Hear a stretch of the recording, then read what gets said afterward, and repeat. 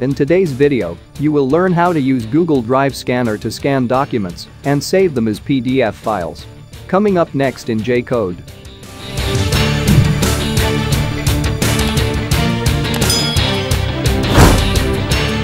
First, make sure your Google Drive app is updated.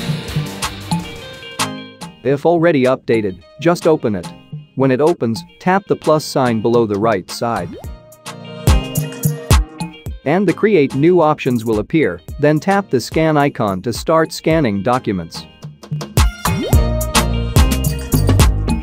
When you captured the documents, you will see additional tools such as back, change color, rotate, crop, and add button.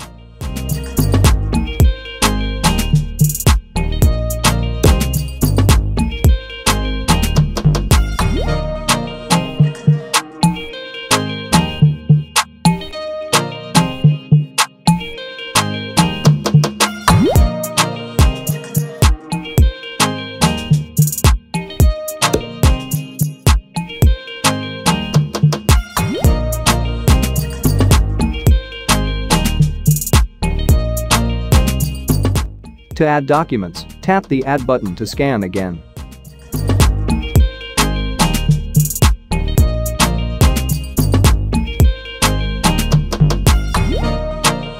If you want to delete a page before saving it, then tap the minus sign and tap OK. If you are done editing, just save it.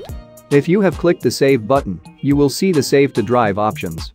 There you can edit the document title, choose the Gmail account you will use, and choose the folder or create a new folder where you can save your file. To create a new folder, just follow me.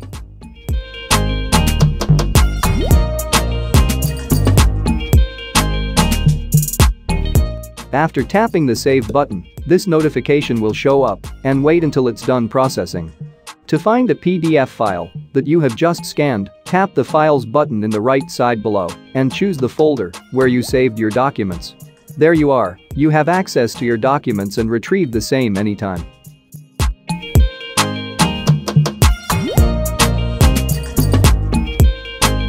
If you want to learn a mobile phone application but no idea how to use it, just comment down below so we can make a video tutorial for you and don't forget to subscribe for more tricks and tips to enjoy your devices.